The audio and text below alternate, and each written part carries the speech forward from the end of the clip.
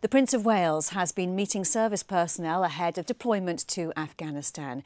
He went to Salisbury Plain to see soldiers from the 3rd Battalion, the Mercian Regiment, take part in their final training exercise before heading off to theatre in March. Charlotte Cross was there. The welcome was certainly warmer than the weather as the Prince of Wales arrived at Beeches Barn on Salisbury Plain.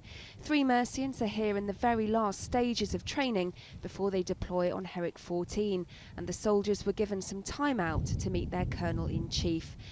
The Prince was particularly interested in the sheer amount of personal kit the soldiers now have to carry on operations. He was a bit amazed and uh, he, he said that he was very proud of all of us and that as well so um, to have royalty say that to us, it's, it's a nice thing to hear. The Prince was shown some of the firepower the soldiers will be using in theatre, and the Prince was also interested in more intimate pieces of kit.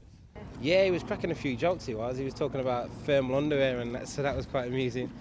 Put a smile on everyone's face. You, you think he's going to be really, I don't know, um, hard to talk to, but he was quite easy to talk to. He, just like talking to a regular regular person. So yeah, he made it quite quite easy for us to speak to him, yeah.